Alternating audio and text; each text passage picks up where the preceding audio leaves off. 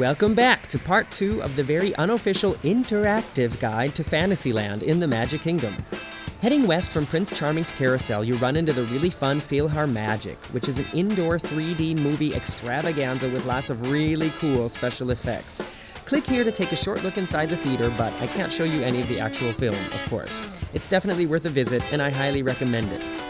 Down the road are two more attractions the famous and infamous It's a Small World and Peter Pan's Flight. Click here to take a look at It's a Small World, or just keep watching for Peter Pan. On Peter Pan, you fly away to Never Never Land on hanging pirate ships. It's not scary at all, so you can take everyone with, and my tip is to get there early in the day because the lines get really long in the afternoon. And that's it for Fantasyland. Click now to choose where you want to go next.